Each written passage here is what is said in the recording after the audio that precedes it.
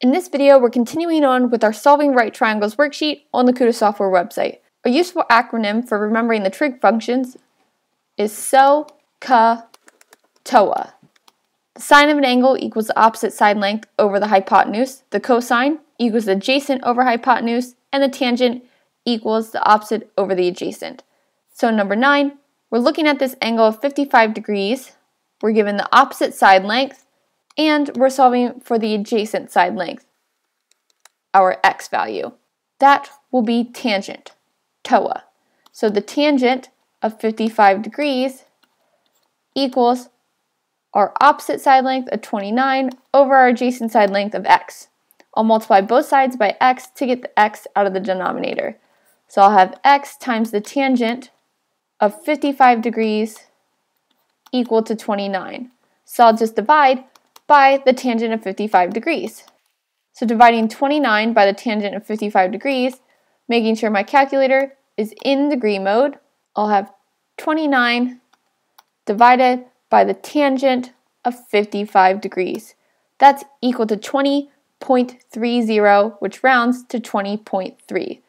So x is equal to 20.3 in number 9 and that's because the tangent of 55 degrees divided by the tangent of 55 degrees is some decimal divided by the same decimal, which is 1. So x times 1 is x, and x is equal to 20.3. And number 10, we're looking for that opposite side length given the adjacent. So again, we're using tangent. The tangent of 68 degrees is equal to the opposite side length x over 21. In this problem, all we need to do is multiply both sides by 21. My 21s will cancel out on the right, and I'll get 21 times the tangent of 68 is equal to x. So 21 times the tangent of 68 degrees equals 51.97, which rounds to 52.0. So 52 is our solution in number 10. In number 11, we're looking for x, which happens to be the opposite side. And we're also given the hypotenuse, since the hypotenuse is always directly across from the right angle. So O and H think so. So we're going to be using sine. The sine of 19 degrees equals our opposite side length, x, which we're solving for, over our hypotenuse of 29. Now I'll just multiply both sides by 29. 29 will cancel out and I'll be left with x on the right hand side and 29 times the sine of 19 degrees will equal x. So 29 times the sine of 19 equals 9.44, which rounds to 9.4. So 9.4 is my solution in number 11. In number 12, again, we're given the hypotenuse, and we need to solve for that opposite side. So this is sine. The sine of 21 degrees equals our x over 22, and that's our opposite side length over our hypotenuse. Multiplying both sides by 22, I'll get that 22 times the sine of 21 degrees equals x.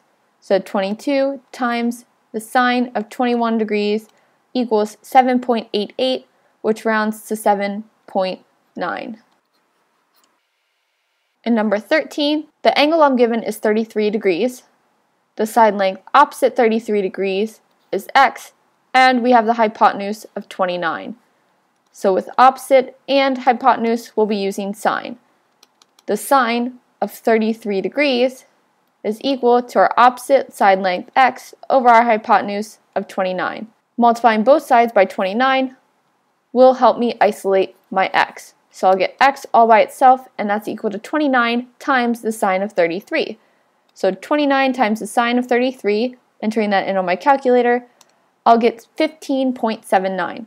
15.79 rounds to 15.8. In number 14, I'm given a side length of 45 degrees.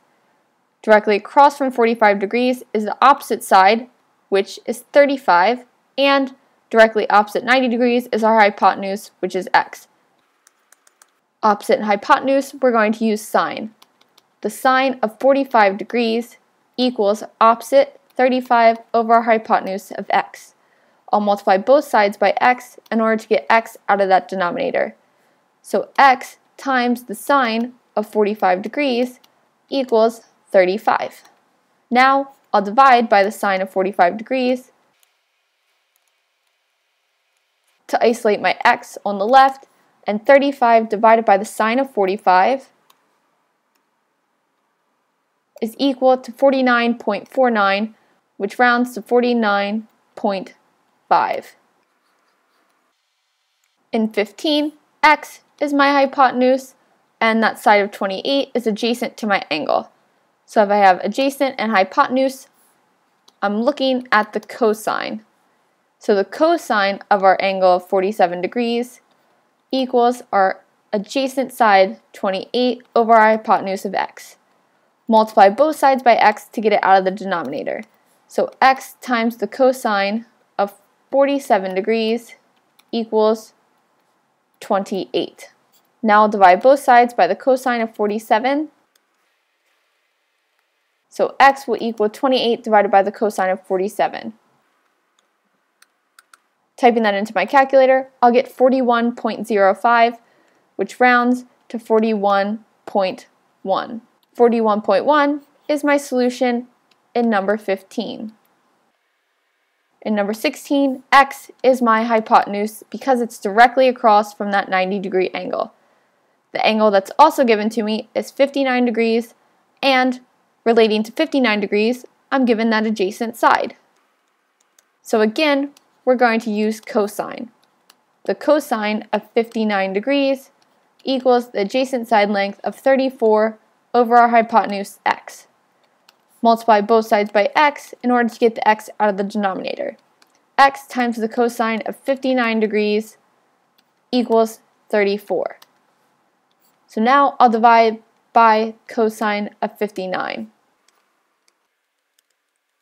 Dividing by the cosine of 59, I'll have x times 1, which is x, and that's equal to 34, divided by the cosine of 59.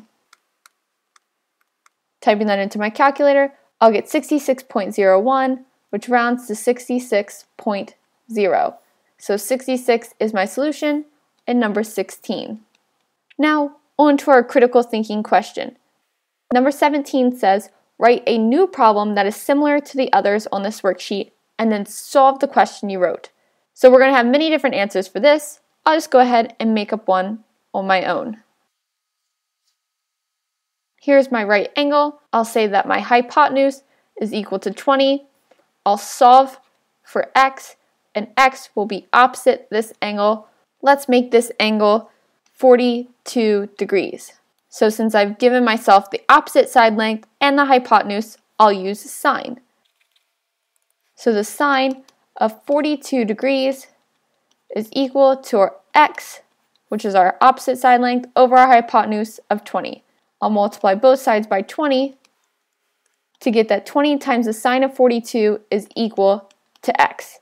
And 20 times the sine of 42 degrees is 13.38, which I'll round to 13.4. So 13.4 is my x value in number 17. Leave a comment below with the problem you created and let me know what you got for your answer. And as always, like, subscribe, and share.